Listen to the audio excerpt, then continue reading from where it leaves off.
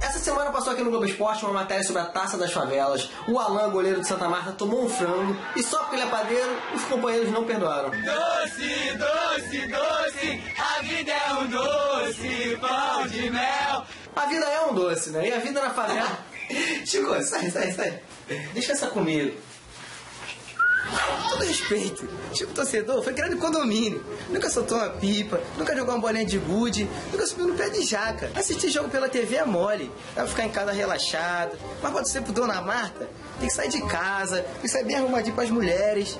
É, o pessoal tem que cortar o cabelo na máquina zero, igual o Escobar. Para de puxar o saco do cara. O Escobar tá de férias. Quem tá no programa agora é Cris Dias. Cris Dias é um doce. Doce, doce, doce, Cris Dias é um doce, pão de mel. Que coisa mais linda, nossa musa que veio do céu. Jabá,